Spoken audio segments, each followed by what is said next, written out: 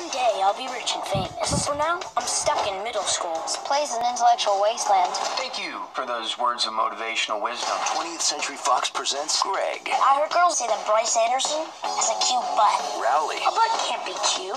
It's a butt. Patty, Make your move! She's a girl. Where do I grab her? and Fregley. Wanna see my secret freckle? Yeah, it's got a hair in it. Diary of a Wimpy Kid.